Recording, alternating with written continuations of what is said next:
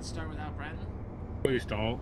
Well, believe it or not, Walking on air.